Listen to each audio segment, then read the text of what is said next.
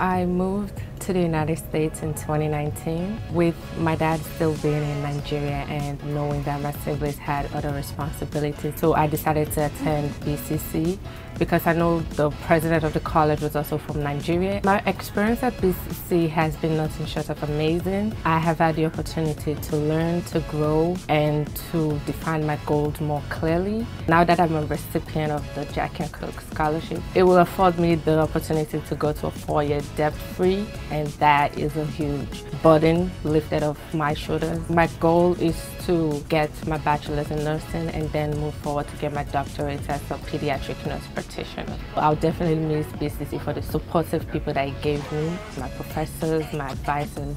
They were really helpful to make me who I am today.